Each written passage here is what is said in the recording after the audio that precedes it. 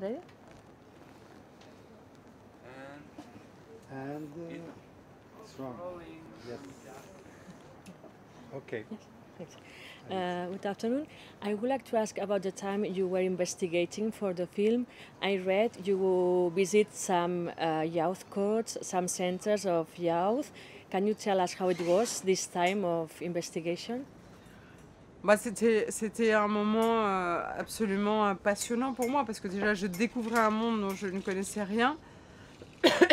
Et surtout c'est un monde qui est très euh, mystérieux et très confidentiel en fait puisque tout ce qui, entoure la question des enfants en, France se fait à huis clos. Donc on- c'est exceptionnel de pouvoir assister à tout ce à quoi j'ai assisté.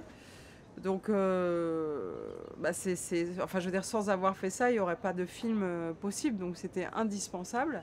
Mais moi, à titre euh, personnel, même au-delà du film, ça m'a énormément déjà remué parce qu'on voit des choses vraiment bouleversantes et aussi beaucoup de violence. Ça, c'est assez dur à, digérer.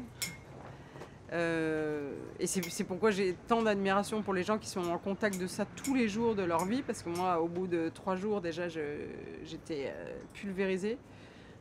Donc, euh, donc voilà, ça m'a énormément enrichi à titre personnel, et puis c'était un travail, mais euh, absolument indispensable préalablement au film. Uh, you said two things that we can see afterwards in the film that you discover death, violence, but also the faith of the team, of the teachers, of the. Can you tell us a bit more about these two facts? Euh, D'une part la violence et d'autre part le- l'engagement, la foi de. Bah, ce que j'ai- constaté euh, chez ces jeunes, alors c'est pas toujours de la violence exprimée parce que dans le bureau des juges en général ils sont, soit ils sont mutiques, euh, soit ils se tiennent à carreau et puis dès qu'ils ont passé la porte du juge ils recommencent à parler comme des chartiers et tout, c'est assez amusant d'ailleurs. Mais c'est surtout quand j'ai été dans les centres éducatifs où là bon les enfants ils sont s'ils sont enfermés c'est qu'ils ont déjà fait quand même pas mal de choses. Et là, même quand il n'y a pas de violence qui s'exprime, il y a une violence euh, latente qui est très angoissante. Et on, on- on sent qu'ils n'ont pas confiance en, les adultes. Donc moi, j'étais quelqu'un d'extérieur en plus, donc il y a beaucoup d'an- d'animosité, de, de, méfiance. Moi, j'avais un peu peur même. Euh, donc, donc, euh, voilà, et, je- comprends que c'est simplement que d'une part, effectivement, ils ont des histoires qui font qu'ils n'ont pas confiance dans le monde adulte. D'autre part, qu'ils n'ont pas le langage pour exprimer des choses et que souvent, donc, ça passe par euh, des insultes ou, de la violence physique parce qu'ils savent pas finalement s'exprimer autrement. Donc, j'ai beaucoup plus de compréhension maintenant vis-à-vis de tout ça depuis que j'ai fait ce stage.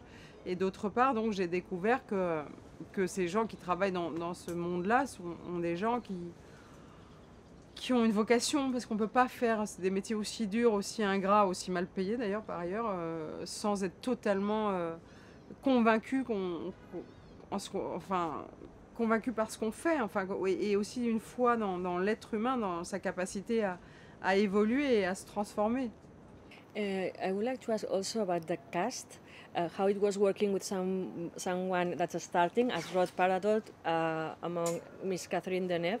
Mais moi, il n'y a pas de différence pour moi, entre ceux qui, enfin, je veux dire, c'était très différent pour moi de travailler avec Rod Parado que de travailler avec Catherine Deneuve.